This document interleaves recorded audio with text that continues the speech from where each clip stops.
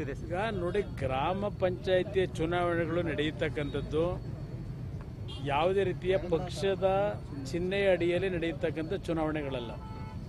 ಗ್ರಾಮ ಪಂಚಾಯಿತಿ ಚುನಾವಣೆಗಳಲ್ಲಿ ಒಂದೇ ಪಕ್ಷದವರೇ ಎರಡು ಜನ, ಮೂರು ಜನ ನಿಲ್, ನಿಲ್- ನಿಲ್ತಕ್ಕಂಥ ಒಂದು ವಾತಾವರಣವೂ ಇರತಕ್ಕಂಥದ್ದು ಪ್ರತಿ ಹಿಂದಿನ ಚುನಾವಣೆಗಳಿಂದ ನೋಡ್ಕೊಂಬಂದಿದ್ದೇವೆ ಈಗ ಬಿ ಜೆ ಪಿಯವರು ಗ್ರಾಮ ಸ್ವರಾಜ್ಯ ಅಂತಕ್ಕಂಥ ಹೆಸರಿನಲ್ಲಿ ಪ್ರತಿ ತಾಲೂಕುಗಳಲ್ಲಿ ಇವತ್ತೇನು ಸಭೆಗಳನ್ನು ಮಾಡಿ ಆರ್ಭಟ ಮಾಡ್ತಾ ಇದ್ದಾರೆ.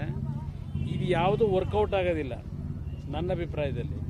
ಗ್ರಾಮ ಚುನ, ಗ್ರಾಮ ಪಂಚಾಯತಿ ಚುನಾವಣೆ ನಡೆಯತಕ್ಕಂಥ ಸಿಸ್ಟಮೇ ಬೇರೆ, ತಾಲೂಕ್ ಪಂಚಾಯತಿ, ಜಿಲ್ಲಾ ಪಂಚಾಯತಿ ಚುನಾವಣೆ ನಡೆಯತಕ್ಕಂಥದ್ದೇ ಬೇರೆ.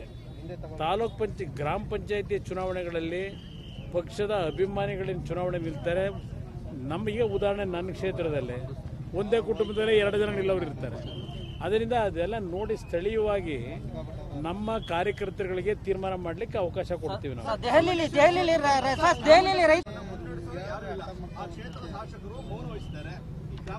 ಅವರೇ ಅವರೇ ಮೊನ್ನೆ ಹೇಳಿರೋದು ಗಮನಿಸಿದ್ದೀನಿ.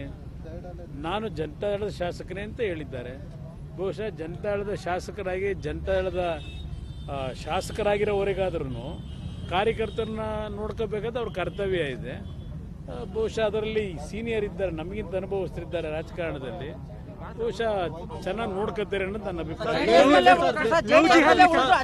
ರೈತರು ಪ್ರತಿಭಟನೆ ನಡೆಸ್ತಾ ಇದ್ದಾರೆ. ನೀವು ರೈತರು ಪಕ್ಷ ನೀವು ಏನ್ ಹೇಳಕ್ ಇಷ್ಟಪಡ್ತಾರೆ? ನಾನು ಈಗಾಗಲೇ ಮೊನ್ನೆ ದಿನ ನಾನು ಒಂದು ರಿಯಾಕ್ಟ್ ಮಾಡಿದ್ದೇನೆ. ದೇವೇಗೌಡರನ್ನು ಸಹ ಕೇಂದ್ರ ಸರ್ಕಾರಕ್ಕೆ ಮನವಿ ಮಾಡಿದ್ದಾರೆ.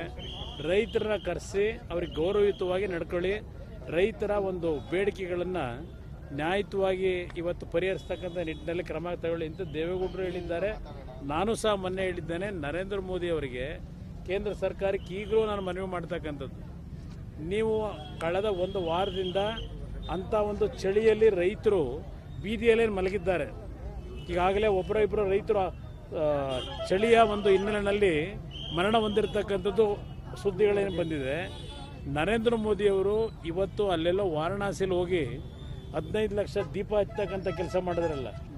ಹದಿನೈದು ಲಕ್ಷ ದೀಪ ಹಚ್ಚಬೇಕಾಗಿರೋದು ಈ ರೈತರ ಕುಟುಂಬದ ಮನೆ ಬೆಳಕನ್ನು ಕೊಡಬೇಕಾದವರು ನರೇಂದ್ರ ಮೋದಿ ಅವರು. ಆ ನಿಟ್ಟಿನಲ್ಲಿ ಇವತ್ತು ಕಳೆದ ಒಂದು ವಾರದಿಂದ ರೈತರಲ್ಲಿರ್ತಕ್ಕಂಥ ಈ ಒಂದು ಆತಂಕ, ಅನುಮಾನಗಳೇನಿದೆ, ಸರಿಪಡಿಸ್ಲಿಕ್ಕೆ ಒಂದು ಸರಿಯಾದ ರೀತಿಯ ಸಭೆ ಕರೆದು ರೈತರ ಬೇಡಿಕೆಗಳು ನ್ಯಾಯತ್ವ ಬೇಡಿಕೆ ಈಡೇರಿಸ್ತೀವಿ ಅಂತಕ್ಕಂಥದ್ದೇ ನನ್ನ ಡಿಮ್ಯಾಂಡ್. ಲವ್ ಜಿಹಾದ್ ವಿಚಾರದಲ್ಲಿ ರಾಜ್ಯ ಸರ್ಕಾರ ಅದು ಸಿದ್ದರಾ ಸಿದ್ದರಾಮಯ್ಯನವರು ಅವರಿಬ್ಬರು ಚರ್ಚೆ ಆಗ್ಬೇಕು ನನಗೆ ಗೊತ್ತಿಲ್ಲ. ಸರ್ ಸಿದ್ದರಾಮಯ್ಯನವರು ಅವರಿಬ್ಬರಲ್ಲಿ ಅದು ಅದರ ಬಗ್ಗೆ ಈಗ ನನ್ನ ಜಿ ಟಿ ದೇವೇಗೌಡರು ಕ್ಲಾರಿಫಿಕೇಶನ್ ಕೊಟ್ಟಿದ್ದಾರೆ. ಸರ್. ಅದು ಅವರಿಬ್ಬರು ಅಲ್ಲ ನನಗೆ ವಿಷಯ ಗೊತ್ತಿಲ್ಲ ಅದು. ವಿಷಯ ಗೊತ್ತಿಲ್ಲ ನಾನು ಯಾಕೆ ಮಾತಾಡ್ತೀನಿ ಇಲ್ಲ ನಿಮ್ಮ ಇಲ್ಲ ಅವ್ರು ಎಲ್ಲಿ ನಮ್ಮನ್ನು ಬಿಟ್ಟು ಹೋಗಿದ್ದಾರೆ? ಅವ್ರು J D S love jihad ವಿಚಾರದಲ್ಲಿ ನಿಮ್ ಸ್ಟ್ಯಾಂಡ್ ಏನು ಸರ್? ಫಂಕ್ಷನ್ ಸರ್ಕಾರ ಅವ್ರದ್ದೇ ಅವ್ರ ಜೊತೆ ಓಡಾಡ್ತಾರೆ. ಕಾರ್ಯಕ್ರಮಕ್ಕೋಸ್ಕರವಾಗಿ ಅದಕ್ಕೆ ಬೇರೆ ತರ ಕಲ್ ನಾವು ಅರ್ಥ ಕಲ್ಪಿಸೋದು ಬೇಕಾಗಿದೆ ಲವ್ ಜಿಹಾದ್ ವಿಚಾರದಲ್ಲಿ ನಿಮ್ಮ ಸ್ಟ್ಯಾಂಡ್ ಏನು ಸರ್? ಬಿಜೆಪಿ ಅವರು ಕಾಯ್ದೆ ತತ್ತಿವೆ ಅಂತ. ನೋಡಿ ಲವ್ ಜಿಹಾದ್ಗಿಂತಲೂ ಇನ್ನೂ ಹಲವಾರು ರೀತಿಯ ದೊಡ್ಡ ದೊಡ್ಡ ಸಮಸ್ಯೆಗಳನ್ನು ನಾಡಲ್ಲಿ ಎದುರಿಸ್ತಾ ಇದ್ದೇವೆ. ಸರ್ಕಾರಗಳಿಗೆ ಜವಾಬ್ದಾರಿ ಇರೋದು ಪ್ರತಿಯೊಂದು ಸಮಾಜದ ಪ್ರತಿಯೊಬ್ಬ ವ್ಯಕ್ತಿಯನ್ನು ರಕ್ಷಣೆ ಮಾಡ್ತಕ್ಕಂಥ ಜವಾಬ್ದಾರಿ.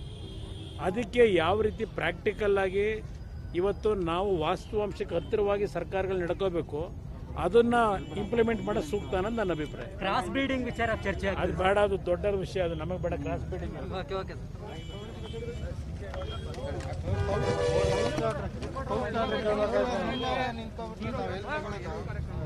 ಬೇಜಾರಾಗಿ